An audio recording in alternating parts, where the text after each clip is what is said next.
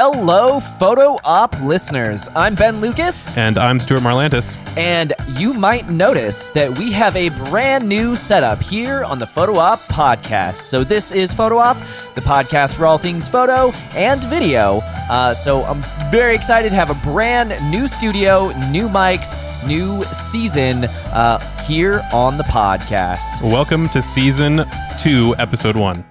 Woohoo! I can't believe we made it. Yes, uh, season one was about two years long, but uh, it's it's uh, been been a fun one.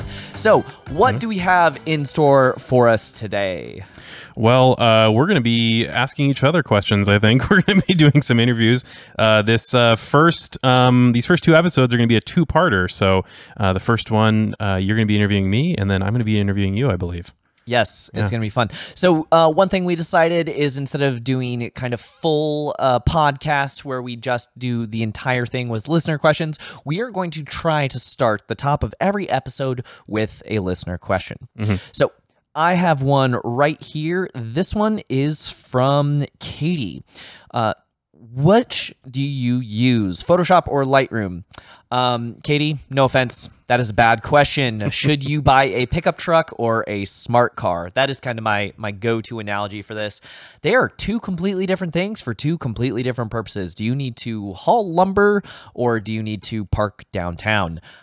Um, uh, you use Lightroom for cataloging a mass load, huge amount of photos um, and for quickly organizing, for quickly bulk editing and exporting. You do Photoshop when you need some pixel manipulation, when you need to get into one specific photo and you need to do some fancy things to it. Sometimes that can just be some more advanced color correction, um, but a lot of times once you get into clone stamping or you know removing zits or Yeah. any, any of that of that Heel actual brush. heel brush, any of the actual pixel manipulation, um, that's when you're going to use Photoshop. So I know it's I know they're both made by Adobe and they're you know two arms of the same body, but they are completely different things. Use them both. Get Yes. to know them both. The answer to do you use Photoshop or Lightroom is yes. Yes.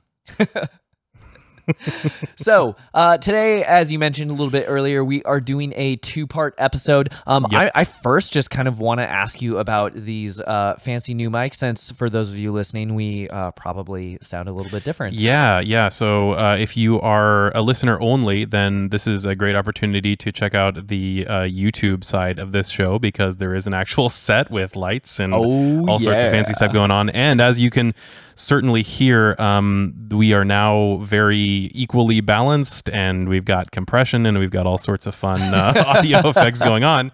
Um, yeah, so I can go through this really quickly. Um, we have uh, two uh, Shure SM58S microphones, um, which are kind of like performance microphones that I that I really like. They're very forgiving for uh, not acoustically perfect environments. Not no offense like to Ben's studio. concrete bunker that we are currently in. That is my new photography studio. Exactly. So we got two mics, two little uh, foam pop filters on them, and they're running into the Rode uh, Rodecaster Pro, um, which is a relatively popular choice. Uh, well, it's got you know four inputs and a bunch of uh, fancy computery stuff and effects and tr- sound triggers uh, like like this. so it's got all sorts of fun stuff.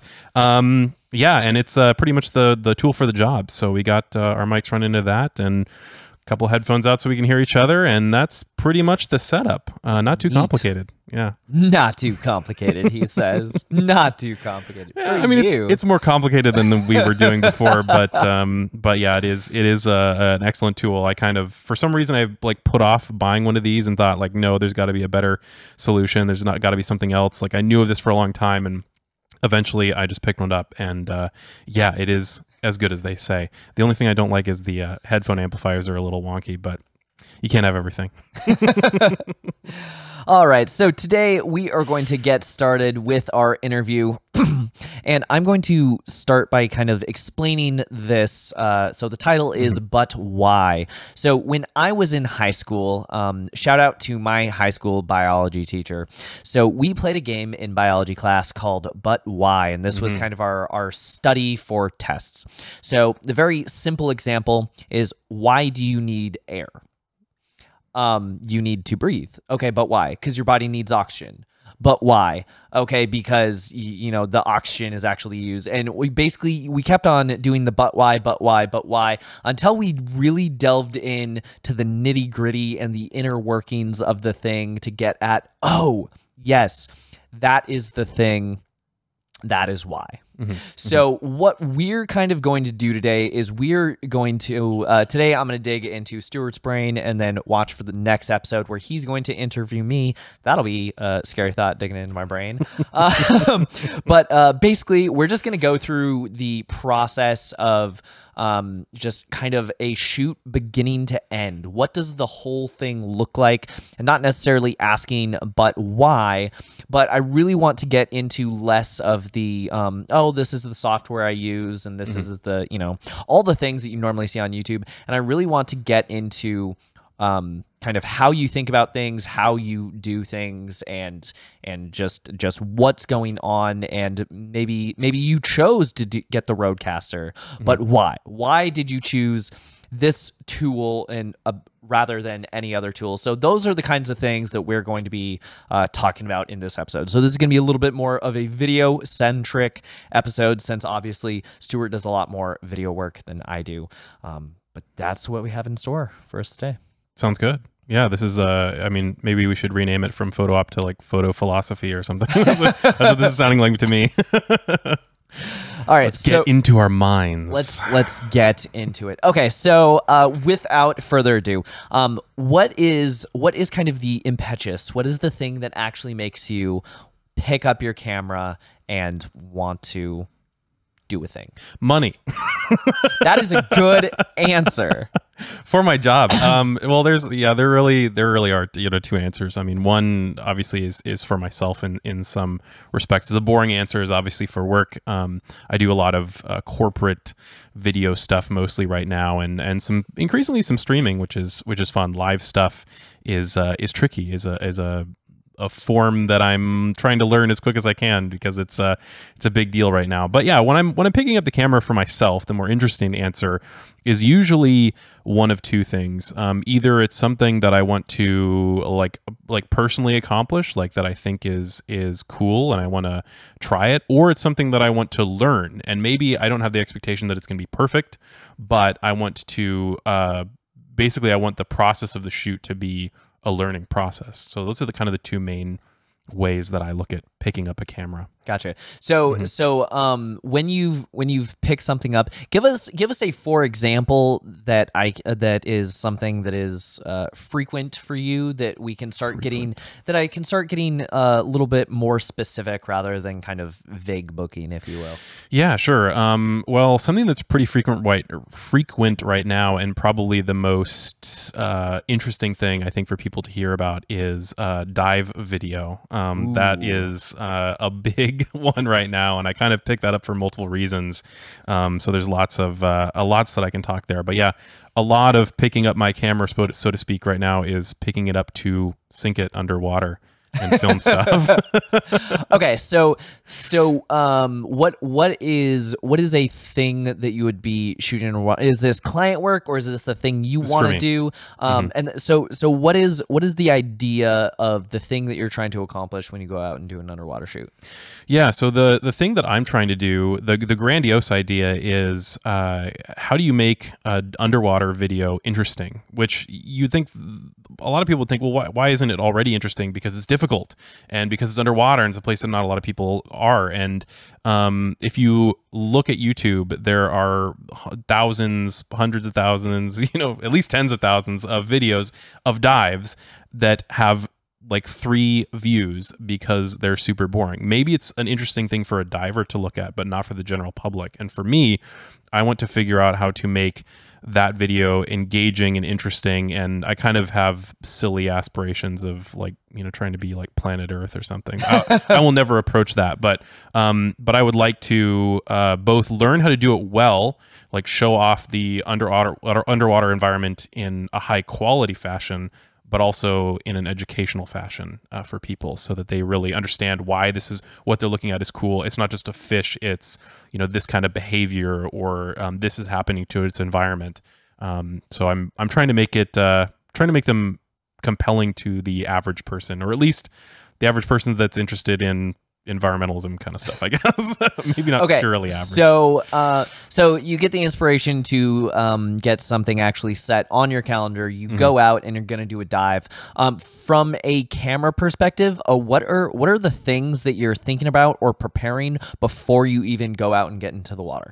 Sure things. Yeah. So um, a recent one that I was part of is a friend of mine and I are working on a project that is um, uh, showing a bridge. There's a bunch of collapsed bridges around the Seattle area. The Tacoma Narrows or uh, Galloping Gertie, as some of you might know, is a particularly famous one. Uh, but yeah, there's a lot of uh, sunken bridges in the Seattle area, and we're kind of figuring out how to film them and tell their story and, and kind of show you know what happened to these bridges after they hit the water like obviously new bridges are built but what happens like they're they are generally still like there, they're still yeah. there so what what happens are are you know are they still deteriorating is there cool stuff there you know does anything live on it now um so we're trying to figure that out so one of the things that is obviously big for this topic is uh is how how you can physically capture it. There's not a lot of light, even during the day. There's Oh, not yeah. a lot of light that gets through the murky Puget Sound or like Lake Washington water. Um, so the biggest thing is how are you going to even expose an image? And obviously, one side of that is have a camera that has great low light performance, which is increasingly, thankfully, a thing that's not too out of reach. But the other What- one is your- lights. what's your current dive camera? Um, right now, I use the Sony uh, A7 III as a dive camera, Okay. which um, was a big step up from what I did previously. I had um, various smaller mirrorless cameras and GoPros and stuff, um, but I finally went and got a housing, and I grit my teeth every time I sink that underwater. It's scary. Um, Please, please stay yeah. solid. Please stay sealed. Exactly. So, th- so there is the the the question of like, does this camera perform well in low light? Can I push it push its ISO as high as I can? Because you will have to push it to the limits, basically. But also, um, you know, what kind of lights can I bring underwater? Like, it, there's a lot of equipment that you're just carrying to keep yourself alive, um, and then you have to add on a bunch of other equipment to Oh. try to shoot stuff. Yeah. Um, so that can be uh, that is a big topic. Uh, you know, bringing bringing light underwater um yeah and making sure that your camera doesn't flood and then like break you know thousands of dollars of camera and Oh. lenses which there are like vacuum checks and stuff that you can do or you know as as low tech as putting paper towels like in the housing and sinking it and seeing if the paper towels get wet at all. There's stuff like that. So there's alarms and vacuums and stuff but like let's be real. You can do all those tests and some of these bad can still happen and you can be you know 100 feet underwater and your camera can start flooding and there's nothing you can do about it except be sad Oh, oh. so I'm- trying to I'm sad preserve- ru- it hasn't even happened to you, and I'm already sad. yeah it's uh at least yeah not so far it will probably someday but um i have insurance for that so that's good Yeah, that, uh, that Yeah, is protecting a, that your is gear a is a future big one. Episode that is actually on our list that uh, we've kind of been waffling back and forth about. Um, should you have insurance? Uh, yes. Yes. Mm-hmm. Yes, you should. That's it. Period. Done. But we can talk more about that in a future yeah episode. for sure Um, okay, so so you've kind of prepared all of your gear. You have all your life saving stuff, but Mm-hmm. you also have um, the the gear at hand. You've you've got your housing and you've got your lights. So you're actually in the water. Um, what are the what are the things that you're thinking while you're trying to shoot? What are the things that you're looking for? Because Mm-hmm. like when I'm shooting a portrait, I can I I have full control over the environment. I don't have to find my subject, so Mm-hmm. to speak. So so what are the things that you're kind of thinking about or looking for that are exploring as you're as you're actually down there diving? Yeah, so it's totally the opposite because you have basically no control of your envi- environment and often little to no control of your subject. Sometimes you're actually filming another diver, which that's great because you can generally try to direct them. I mean, unless Like you're hand on signals Yeah, unle- and- yeah, you have lots of hand signals. There's lots of like flailing around. Um, but uh, but yeah, it's not like um, you know, it's not like a, a you know any kind of uh, on land environment where you can take a light and put it farther away, or you can move it, or you can you know do this or do that. Um, you're carrying your lights. And so a lot of the a lot of that is is more complicated. Sometimes you can place things sometimes you dive with like a team of people and they literally some of them just exist as your light stands underwater hold the light in this angle.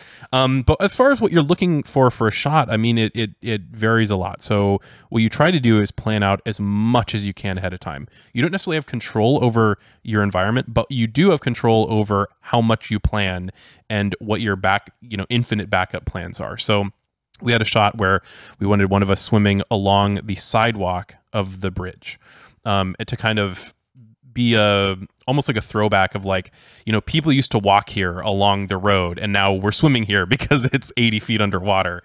Um, and so we knew we wanted that shot but we didn't know what the um, environment would be like. We didn't know what the condition of the bridge would be like. We didn't know if there was going to be you know more or less light uh, what the weather was like that can influence like rain can make water I, I was really gonna murky. say i was gonna say Yeah. like how does you're already underwater. Does it really matter what's happening above the water when you're 100 very much, feet down? Very much. Like rain uh, will just kill your visibility because that makes all of the silt run into the water and it just ruins everything. It de- generally doesn't affect, you know, the uh, you know the sound or anything. I mean, sometimes you can hear it depending on how close you are to the surface. well but- not like you could really record audio underwater anyway yeah, I am working on that, but it, it's very it's very difficult. I do actually have the you're, equipment you're, for it. But you're recording your audio underwater you're not recording the sounds of the water though, Well, right? yeah. So actually, both. So I'm trying to record. Uh, this is a tangent, but I'm trying to record a full face mask audio so people actually live narrating while they're diving, and then also environmental sounds and mixing them together. Which, it's very uh, complicated. for those of you online, uh, we've talked about this a little bit offset. It's a thing that currently does not exist. Like when you go to very aqua- little. yeah, when you go to the aquarium and they are doing like a live show, Yeah. like this is literally the only place you see it. He has one of those. yeah, I have that stuff, um, but it's yeah, it's complicated. I we don't need to get too too much into it this episode because it's not the point of the episode. But yeah, the the grand scheme, what I'm trying to get at is um, you try to plan as much as you can. So what we would do is just have backup shots. So for like if it's too murky here, or like if we screw up and we kick up some silt, then let's look for another spot. You know, we we know that there's like this edge of the bridge that we could go along. We know that there is you know this side is deeper than the other side, and so like maybe we try the the shallower side first because it has more light. But if that doesn't work out for some reason, maybe we try the deeper side, which is darker but has like less silt, uh, for example. So there's a lot of just contingency plans. All diving is like contingency plans, whether you're um, doing uh you know whether for life support like you always have contingency plans like what if i run out of air? What if one of my uh you know regulators stops working? What if this? What if that? You have all these contingency plans and then you you approach shooting underwater the same way.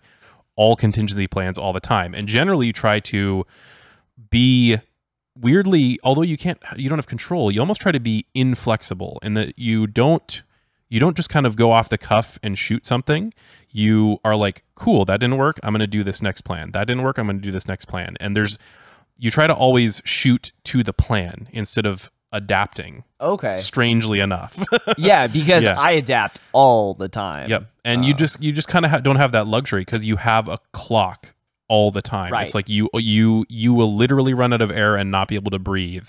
So Stick to you the plan. yeah stick to the plan. And if you know it, sometimes it doesn't work out. Sometimes you run out of plans and you run out of time and that's it. And then the the the backup plan for that is come back another day with Oh, more yeah. with more gas so that you can continue.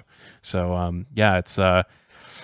It's it's lots and lots and lots of planning, basically. So, um, when your when your brain is trying to come up with um compositions and stuff, obviously uh, underwater is kind of such a crazy Mm-hmm. aspect that not a lot of people do, and part of that I imagine is just, oh crap, let me get whatever I can get. Like Yep. it's not ideal, but I'm just going to. Um, how do you kind of uh plan and set up your? Cam- do you just shoot like super wide and plan on cropping it later, No, or no. do you try and get all your shots in camera? How do you? I do try you to get shots in camera. do- yeah, but like, but like, how do you think about getting getting um, that more cinematic quality that you're looking for, Mm-hmm. kind of in your shots? Uh, what are the things that you're thinking about, kind of as a cinematographer or a DP would think about? so I'm always looking for motion. Um, that is, uh, I think that's that's one of the biggest things that you have underwater all the time is there's there's always movement going on and it's a matter of like what movement do you want to show and one of the very difficult things is like if you want you know if you have like fish over a reef or something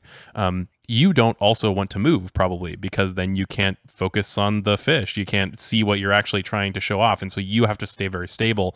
The problem is you're not attached to anything. So how do you stay stable without Oh, being able yeah. to stand in place or have it on a tripod or something? So it's very um I am always I basically try to shoot underwater as I do um, on land. Uh, I really do. I, I try to follow you know good composition rules. Um, I try to follow lighting as much as I can. Um, I try to make sh- shots stable and smooth.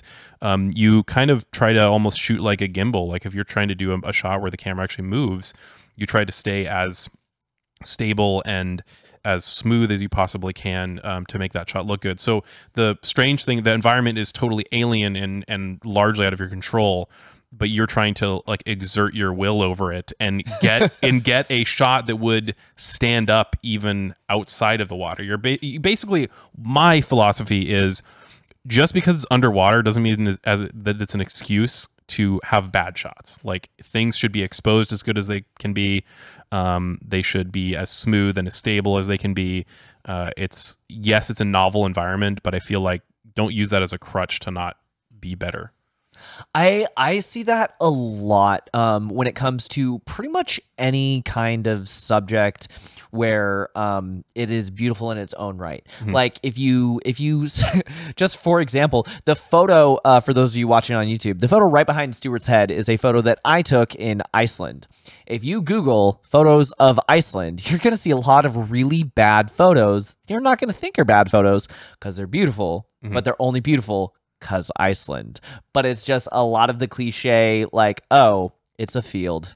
Yep. It's it's looking literally straight down a road. Um, th- there's nothing that interesting about it except the fact Iceland. Shooting in tropical water is like that. It's like there are pretty reefs and fish everywhere, and you're just like, cool. I, I don't have to try at all. I can just point my camera and it looks great. Around here in the Pacific Northwest, it's murky and terrible, and there are very cool things, but it's very difficult to show the beauty of those things. But- so it's a struggle. Yeah, I, I which I kind of like. It's like it's it's you know you have to work for it. that that that is that is nice. There's some satisfaction of like, yeah, it wasn't easy and I did that. Exactly. But but I think more the point of like, um, just because you can, you know, throw your camera in the air and Mhm. whatever direction it lands, hopefully not on concrete, but whatever direction it lands, uh, is gonna take a good photo. Uh, that is not really a reason to be sloppy and take bad photos, which I've seen a lot. Yeah, yeah. So, so funny enough, that kind of same philosophy applies, um, which I think a lot of people don't don't don't see that at first. Like it's just like, oh well, you know, it's it's underwater, and and you see people that start diving and start bringing cameras underwater that just. It, like they're the most boring things ever because they think it's so cool. They're like, "Well, I was there, and it's so difficult to do this, and I can just take my S- GoPro, oh, and it just looks fine." It's something- like, Ugh, that's Something why that people I have it learned so much is just because you, uh, just because it was difficult or that you spent a monumental amount of effort doing it, Mhm. no one cares. It doesn't make it good. Yep, yep. You can appreciate it for the sentimental value, but none of that context is going to get transferred when someone watches it. And that's why I'm trying to crack that code basically. Like I'm a glutton for punishment and it seems like I always want to You always want to try the hardest yeah, thing. I always want to be like, what is the most technically complicated video or photo project I could possibly do? And this is I'm approaching the limits of what is available to me without going into space. So but but it's not an excuse, right? I want to figure out how to make it not boring. Um, and pretty much the only way to do that is to uh, be like, you know, the BBC team responsible for Planet Earth or Blue Planet or whatever, which are incredible people. Um, but they are like the narrowest of narrow sets, and I'm trying to compete with them, and so far failing, but that's fine. I expect to fail for a long time before I'm good at this. Uh, I mean, that's that's how you grow and how you learn. That's Yeah, that's what yeah. you're saying. So- Your your main thing is you when you take on a project, you want to learn. mhm, mhm. and it's a lot of learning. yeah, I mean, you just have to be a good diver first, and that can take you know hundreds of dives, thousands sometimes if you're you know really into it. But uh, yeah, it's uh, it's a that's one of the things that I like about it is it's a journey, and for me. Even if the results are not good, it's satisfying because I learned something.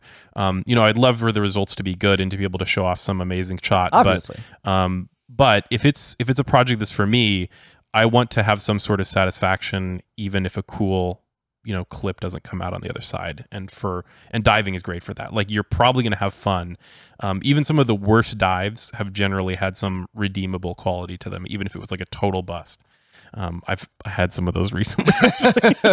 it turned out okay. Everything, everybody's fine. But yeah, well, I mean, we uh, did a dive in a friend's pool trying to do a portrait shot Yeah, of you, was- and that was a total bust. But it was a good story. Yeah. we'll we'll tell it one day when it has a happy ending. Yeah, Uh, yeah, we're gonna yeah we We're gonna we want to revisit again. that before we tell the story. it's been bad. Uh, uh, quick giveaway. I have a photography book for anyone who can tell us the exact amount of times we have mentioned that on the last seventy-eight episodes. Um, okay, so so you pop up for air, you you back up all your footage. Um, just kind of to to wrap this up, what what are kind of the things that you're thinking about when you're when you're either going into the edit? Um, Is it do you want to like let it simmer? Do you do you get excited and you kind of want to hit it right away when you're in the edit? Um, how are you kind of processing all of the footage in your brain to finally like you're you actually put out a video of like hey i did a thing.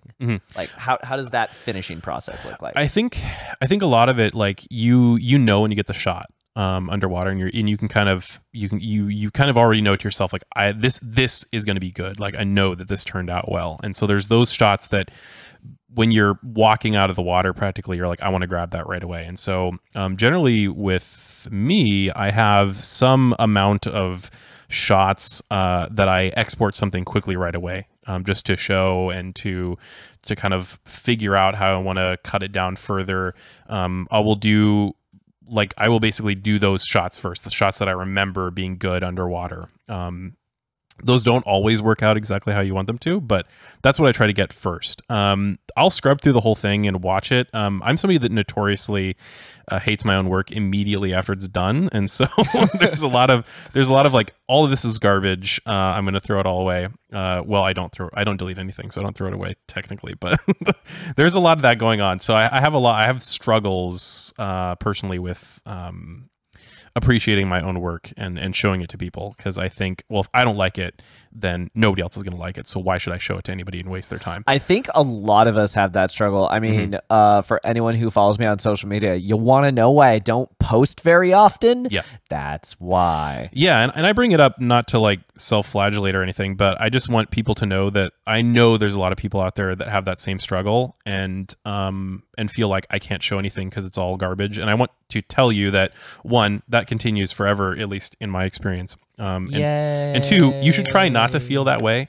Uh, the fact that you put out something is better than than putting out nothing. And I have terabytes and terabytes and terabytes, you know, tens of terabytes at this point of of stuff that I've never released, um, and that is not good. And I can say that it's not good and basically say, do as I say, not as I do. I'm trying to like, you know, trap myself publicly into eventually releasing things on a regular basis. But um, I do want to share that, that that that is a struggle, and I understand that it's a struggle for people, uh, and I struggle with it too. Even doing something like as monumentally technically difficult as like trying to shoot good dive footage, I still, after all that, think, well, this is garbage. I, I want to redo it. But that being said, going into the edit, um, I uh you know if you if you if you've gone according to plan, you generally know like you know this shot worked, and that kind of helps alleviate some of the stress because you're like oh, okay well this this wasn't plan A but this was plan D but hey we got plan D and we know what that looks like.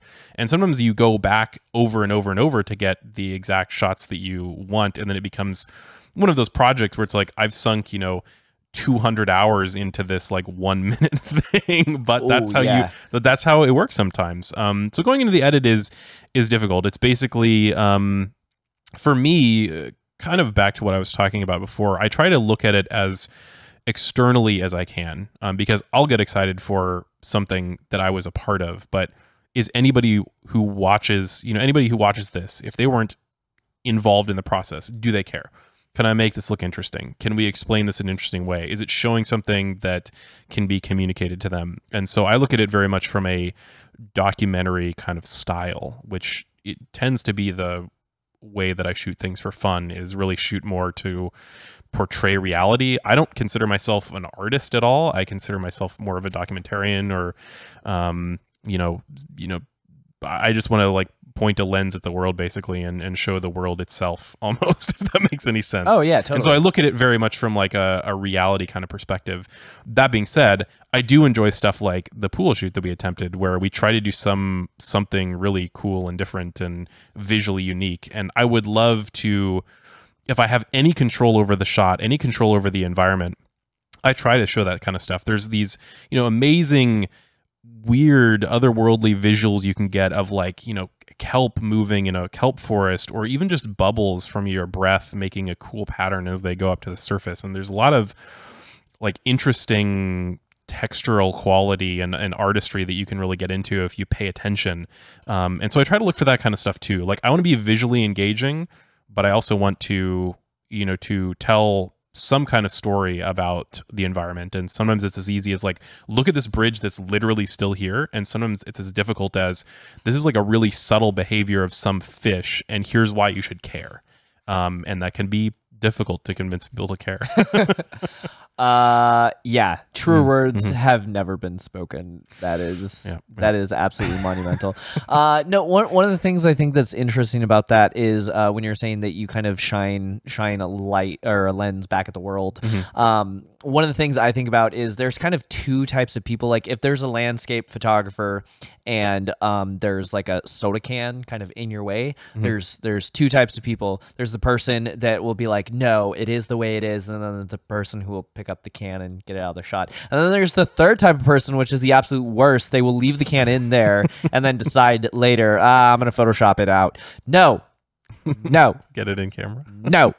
Uh, but uh, yeah, I, I I do think that that's kind of um, there's there's one thing to be said of like I have this vision of how this should look, and that's that's kind of the way I look at things. But you're like, no, this is how it looks. Mhm. Of like of that can to you could tell a story versus me, it's like nah, it's clutter. Yeah, and- and I have I actually have some of that stuff. So I was lucky enough to go on a liveaboard boat on the Great Barrier Reef um, a number of years ago, and uh, unfortunately, uh, it's even worse now. But even then, there was a lot of uh, reef die off um, due to ocean acidification and, and rising temperatures and stuff. Don't have to get into the whole story, but um, there was a lot of reef that was dying, and it looked gray and not fun and not cool and not pretty and colorful. Um, but I filmed a huge quantity of it because to me, I'm like, this is what's happening right now, and I want to show the pretty. it's a story, yeah. yeah. it's a story, and I want to show the pretty fish, and I but that almost adds, you know, that adds a, a significant um, amount of contrast to it. Sometimes literally, like, here's what this could be with all of the stuff that's that's living and vibrant and pretty right now, and right next to it, here's what it might be in the future. Um, and unfortunately, that it is continuing to struggle, and there are big sections continuing to die. And I've shown that footage to people, and um, I've done talks about it, and it's. Uh, yeah it's really um it's really unfortunate but that can really tell that story to people that otherwise don't care. They're like so the reef is dying like who cares? It's it's like a gazillion square miles right? But if you can show them and be like literally this was shot the same day.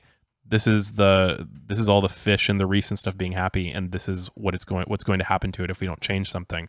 Um that can really help hit home and be like wow it's like a wasteland. Like you know it, people that even don't understand the intricacies of what's exactly going on can see how dead it is. And um, yeah i, I want to show that kind of stuff. And uh, you know stuff like bridges it's kind of silly because it's not necessarily like the most environmentally destructive thing in the world. And I, and I don't and I'm not somebody that like wants to harp on environmental destruction all the time because people get depressed and then they check out right? They're just like Yeah. you're just a you're just a negative Nancy. Like why do I want to listen to you? Um you're just you're just want to be negative all the time. And I really don't want to be because there is hope for that stuff. And um you know I think there's some amount of of uh enjoyment and and some kind of you know you can almost poke fun at humanity with stuff like these bridges. It's like look at how stupid we were that we thought that this bridge was perfect and it was going to last and it definitely wouldn't uh you know fall down due to wind or anything. And you can kind of sh- show this um amusing aspect to the world which is humanity failed but things are living on it anyway and are making making a life out of it.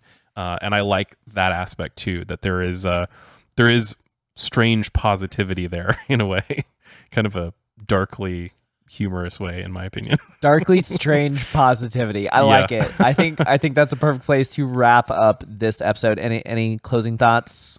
Uh, no, Or advice for for people to things to think about to become better filmmakers. Uh, yeah, I mean, obviously the the thing that everybody harps on, which I'm going to harp on as well as, uh, you know, as, as stated as much as this is, is, is you want to tell a story, right? Like, it's not good if you're not telling a story, and in my opinion, it's not good if you can't people to can't get people to care about your story. I think that's a, a you can tell a story, but if it's a story that nobody cares about, then what's the point? Like, you need to get them to care and then be invested in that story to follow it to, along all of its peaks and valleys, and so obviously storytelling is the biggest thing. Um, you know, you don't have to be the most technically amazing, perfect thing ever, but you know, tell a story and release the story, and I think that's all that matters. Uh, you're going to suck, and you're going to continue to think that you suck as your abilities um, progress and your taste outstrips your abilities. And so, if you think you suck, that's in a good, that's in a good, you're in a good place, but um, it's not going to be a happy place. You But can try you to can release keep it getting anyway. better. yeah. You can keep getting Just better. publish though. it anyway. Don't be me. I like Uh, I like showing stuff live, like to an audience. Uh, right now in COVID, you can't, but uh, that's why I really liked giving talks because you know I could uh, I could stumble over my poor work and um, explain why it was bad to an audience, and, and now I can't do that.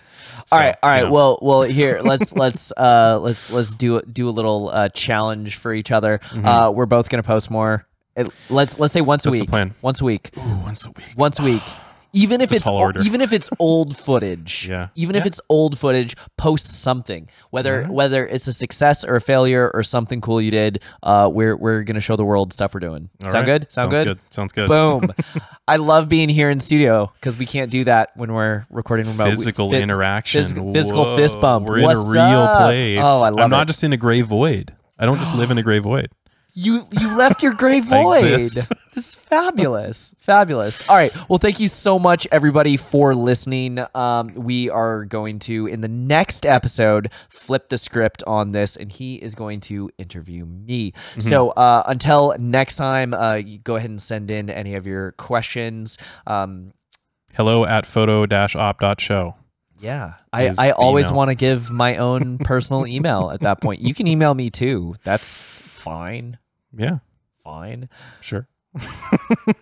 Go say hello to Ben. Send send him your questions. If you have questions or ideas for future episodes, you can email us at hello at photo-op.show. Watch us on Ben's YouTube channel at NOM Creative. As in om nom nom, Share this with a friend, and you can listen to Photo Op anywhere podcasts are sold. or download it. Cause it's free.